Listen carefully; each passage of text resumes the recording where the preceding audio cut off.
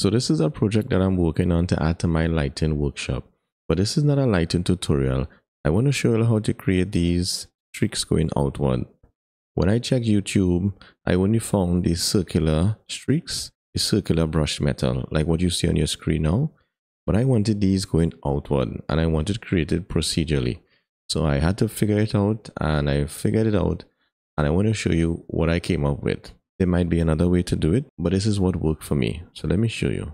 So I just created a cylinder so you'll see what's happening. So typically, this is what you want to do. You want to turn the metallic all the way to 1 and then you want to turn the anisotropy up. It doesn't have to be all the way to 1. It could be just about there. And I found one, the same radial brushed metal on YouTube I find it was a really simple setup and you could probably take a screenshot or I'll just uh, put his name up so you could find the channel. Uh, but this was a simple setup and this is the result I got. But this is not what I want. Remember, I want to go in outward. So what you need to do, uh, we remove these. We don't need this. Instead, uh, we add, press Shift A and add a texture, a gradient texture and set that to radial. And if we press Control Shift and click, this is what we get. That's exactly what we want. And now we could add the noise texture. So plug that in, Control Shift left click, and there you have it. This is the, the brushed pattern going outward from the center. And of course, when you plug it into the color, yeah, that's how it looks. That's exactly what I want.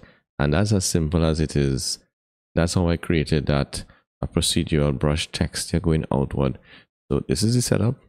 Just uh, the object coordinate into a mapping node, uh, radial, gradient texture set to radial, into a noise texture. And of course, you could play with these parameters to get your desired result and then plug it into your color and that's it. All right. If you're interested though in learning more about lighting products in Blender, I do have a course called 3D Product Lighting Mastery, where there you will learn actual product photography techniques coming from my background as a product photographer. So if you're interested in that, feel free to click check out the link in the description. So I hope you learned something and I'll see you soon.